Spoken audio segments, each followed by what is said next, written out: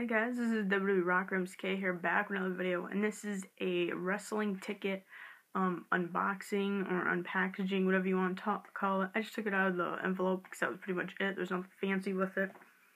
But these are my next wrestling event. This is happening April 22nd. It's in Schenectady, New York at the Schenectady Armory. Never been there before. Kind of hoping it's like the Washington Avenue Armory, like where I went for NXT Live. I uh, have no idea but I have two tickets. These are just general admission tickets to get in. Um, if you're gonna be there, let me know, and I'll definitely, you know, meet up, talk to you guys, see what we're all about. If you watch my videos, it'd be cool to meet some of the people who do.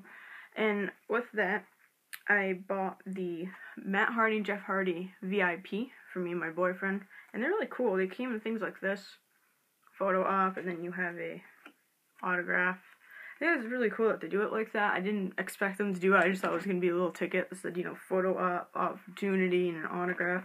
So yeah, they look like. So that's pretty much this little uh, unpackaging for it. I do know what I'm gonna get them to sign. The Hardy Boys. I might be doing Mick Foley as well. It's gonna depend on the day when I go, cause you can just get the VIPs after you get one. But I picked a DVD for the Hardy Boys to sign this.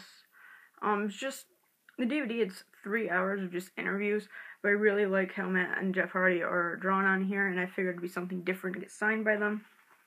So that's what I'm getting signed by them, and hopefully I'll be able to make a day in the life. I know the NXT one didn't happen because just a lot of stuff went down and I couldn't get it out in time.